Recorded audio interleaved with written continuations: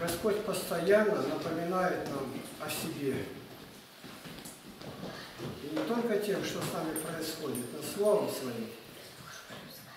Вот вы куда едете, в гости ходите, вы всегда с собой имеете Евангелие запасное. Бывает теряется, а бывает и украдут. А там Евангелие. И человек считает, и не однажды это было, он обращается к Богу. Господь заповедал нам помнить Его. И говорит, все, творю все новое. Не просто новое, а все новое.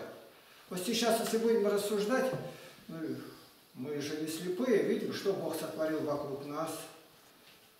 Семья, дети, радость, рождение, смерть. И вдруг все новое.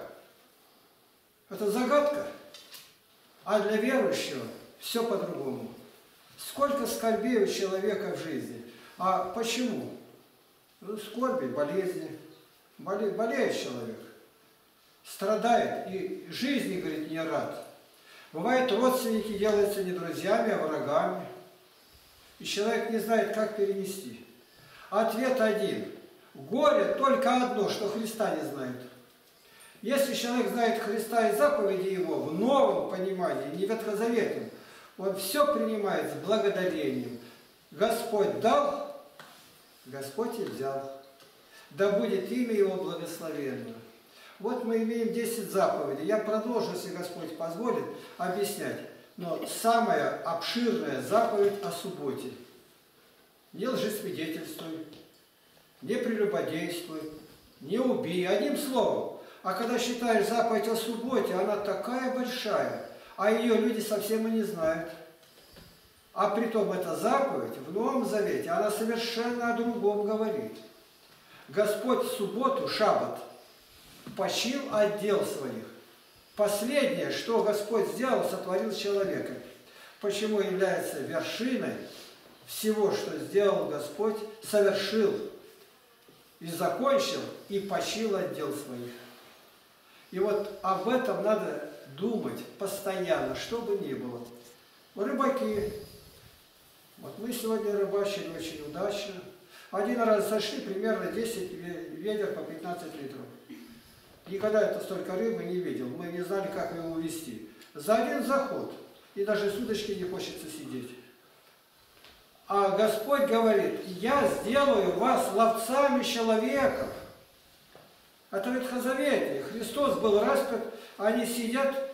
Петр говорит, иду ловить рыбу. А остальные, и мы с тобою. Это все ветхозаветие. В Новом Завете мы уже не видим. Где сети, где Отец, где рыба. Они забросили и нас поймали.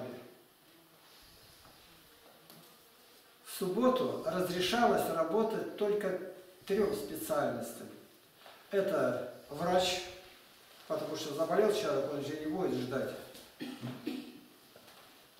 Охрана, потому что вор может залезть и в такой день, когда ты его не ждешь. И животноводство. Напоить, накормить. И в Новом Завете Господь и эти заповеди, и субботнюю заповедь всю возвысил так, что люди, которые этого не понимают, они думают, это другая религия, другая вера. Нет. Если в Ветхом Завете говорило «не лжесвидетельствуй» и клятву исполняй, то в Новом Завете вообще Господь отменяет клятву. Не клянитесь вовсе. Люди клялись храмом, небом, Господь опроверг все.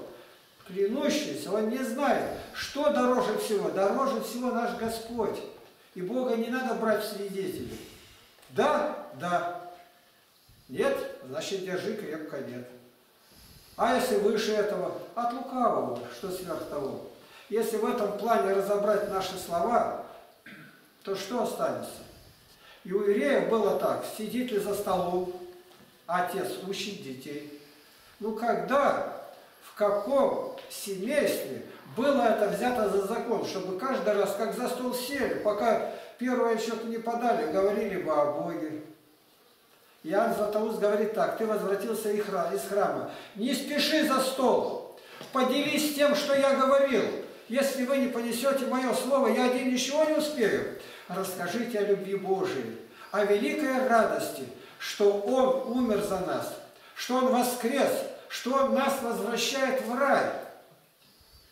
Написано, когда Господь изгнал человека, чтобы люди не заходили туда, Он поставил херувима и меч обращающийся, то есть вращающийся. Вот когда пропеллер у самолета крутится, все падают или бегут в сторону, чтобы он не захватил, иначе ничего не будет. А это меч, с какой скоростью он вращается. И вдруг меч остановился. Никогда не додумаешься, где. А вот копия, когда ударила в бок Христа, святые говорят, это вращение у Херовима остановилось. Христос поставил свой бок, чтобы мы свободно могли вернуться в рай. Поэтому сделай надписи всюду. По милости Божией у нас говорится, идите по всему миру и проповедуйте Евангелие всей твари. Ты один раз прочитала, запомни, в этом радость. Женщина, когда рождает, терпит скорбь. А когда родить, не помнит себя от радости. Вы нынче были на крещении, видели, сколько людей пришло. Люди, которых мы не знаем, из разных национальностей, из далекого Ливана, из Германии – Повезли книги сейчас из Австрии. Еще собираются люди нынче приехать, не успели или заболели. А почему? Рыба идет. И никогда человек не узнает, где Бог откроет двери. Бывает незначительно одно слово. Он говорит, творю все новое. Субботу нельзя было ничего делать. А вот любую заповедь, посмотрите, не делайте еще, а что дальше? А дальше идите ловите рыбу. Какую? Ловцы человеков. А вера от слышания. А слышание от Слова Божия. Вся радость в благовестии. Нести радостную вещь, что Иисус умер за нас и воскрес. Иисус снова грядет. Горе какое! Умер ли кто-то? Обокрали тебя, сгорело, в плен попали. Иисус грядет. И в этом все.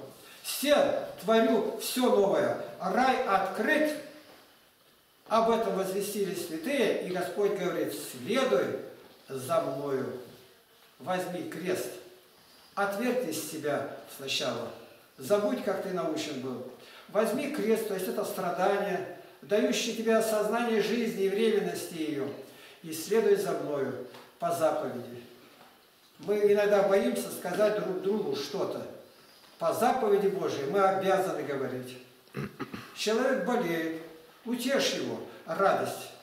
Еще немного, и путь окончен будет. Богу слава за великую милость, что Он сотворил все новое. Аллилуйя. Аминь.